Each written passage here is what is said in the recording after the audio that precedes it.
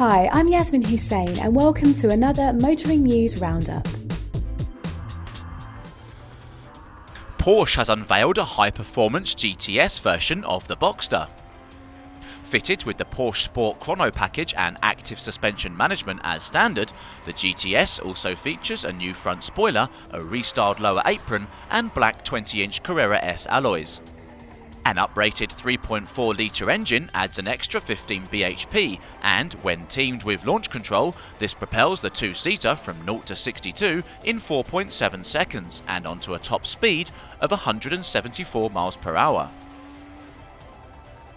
Prices for the Boxster GTS start at £52,879 on the road.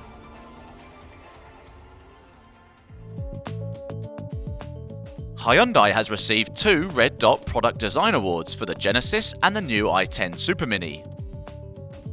The internationally acclaimed awards recognise aesthetic form, innovation and groundbreaking ideas. Hyundai's premium saloon, the Genesis, is designed primarily for the American and Korean markets, but it will also be sold in limited numbers in the UK.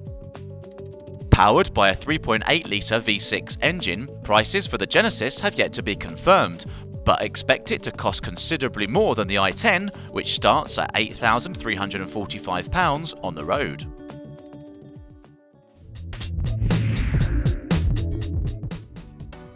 Toyota has released a short video highlighting the new Aygo's many customization options. The compact hatchback features brake lines, which create a distinctive frontal X graphic treatment.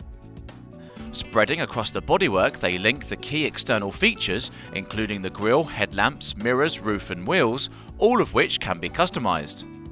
On the inside, air vent surrounds and trim can also be swapped out at an affordable price, says Toyota. Powered by a 1 litre engine, the new Aygo is set to go on sale in the summer. Italian design house Bertone is on the verge of extinction. The company, known for penning some beautiful one-off concepts such as the Aston Martin shooting brake seen here, has entered into bankruptcy proceedings, but not for the first time.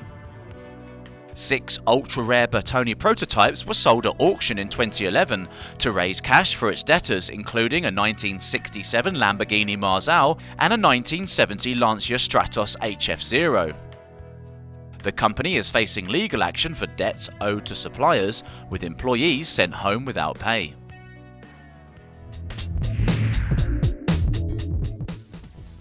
Alfa Romeo has confirmed the 4C Spider is set for production next year. Carbon fibre has been used for the Spider's rollover bars and spoilers, as well as for the monocoque structure, to keep the roadster's weight to a minimum. Even the rear screen has been fabricated in a lightweight sheet moulding compound material. The Spider is powered by the same 4-cylinder turbo petrol engine as the coupe, but a dual-stage central exhaust system and unique headlights are first on the soft top. Pricing for the Alfa 4C Spider has yet to be confirmed.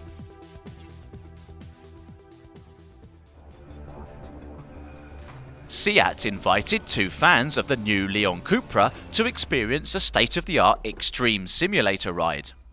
Or so they thought. Once seated in the blacked out car, things weren't quite as they seemed as the road-going Cupra was sneaked out of the fake simulator and onto the tarmac. The high-speed chase around an industrial estate was beamed live to the unsuspecting passengers via LCD screens, and then as the doors were opened, the confused pair emerged to find that their virtual ride had actually been the real thing.